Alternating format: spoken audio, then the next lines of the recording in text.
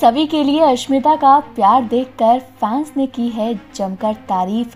Well आपको बता दें स्टार प्लस के सीरियल गुम है किसी के प्यार में के आने वाले ट्रैक में आप देखेंगे किस तरीके से अश्मिता जो है सभी के लिए हमेशा हर चीज़ में खड़ी होने वाली है, उसका सपोर्ट करने वाली है, साथ ही सभी ईशान को एक भी करवाने वाली है।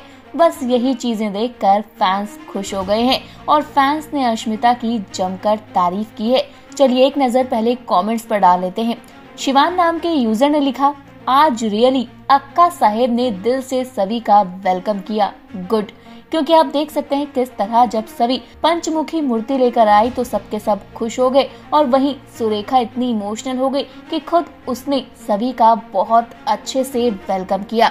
वहीं बात करें अगले कमेंट की। राजेंद्र नाम के यूज़र ने लिखा अश्मिता काकू thank you for always support सभी एंड प्रोटेक्ट जिस तरह अश्मिता सभी का हमेशा सपोर्ट करती है फैंस भी खुश नज़र आते हैं। आप देख सकते हैं अगला कमेंट भी आया है, जहाँ लिखा गया है अश्मिता इस सीज़न में पहले सीज़न की अश्विनी का काम करेगी, क्योंकि जिस तरह से अश्मिता मिलवा रही है सभी ईशान को, ये चीज़ फैंस को बहुत अच्छी लग रही है। वहीं आगे भी देख सकते हैं फैंस ने लिखा, अश्मिता बहुत अच्छी है। एक और कमेंट आया है, जिसमें लिखा है, सभी सच में बहुत क्यूट है। ये लोग उसके कितने इंसल्ट करते हैं, फिर भी वो रामटेक जाकर मूर्ति लेकर आई। ये बहुत अच्छी है, इसका दिल भी बहुत अच्छा है। तो भाई, आप देख सकते हैं फैंस ने सभी अश्मिता दोनों की तारीफ़ की है, क्योंकि आज जिस तरह से अश्मिता सभी के लिए लड़ती हुई नज़र आई, वो चीज़ वाकई में बहुत अच्छी थी। और जब सभी पंच मूर्ति लेकर एंट्री कर रही होती है, तब अश्मिता जान ज़ोर ज़ोर से बोलती है, कहती है,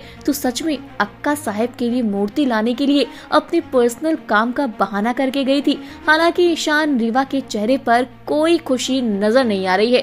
दोनों के दोनों भूत बनकर सबको देख रहे हैं। वो दोनों सभी के लिए कुछ नहीं कहते, लेकिन जिस तरह सभी ने आज सुरेखा का दिल जीता है धीरे धीरे वो सबका दिल भी जीत लेगी। और बात करें रीवा की, रीवा का चेहरा देखने लायक था, लेकिन जिस तरह हमेशा अश्मिता जो है, सभी का सपोर्ट करती है, ये चीज़ फैंस को अच्छी लगती है। वहीं पूजा के टाइम पर भी आप देखेंगे किस तरीके से अश्मिता जो है, सभी ईशान को साथ में पूजा करने के लिए भी फोर्स करती है और कोई कुछ कहता भी नहीं है।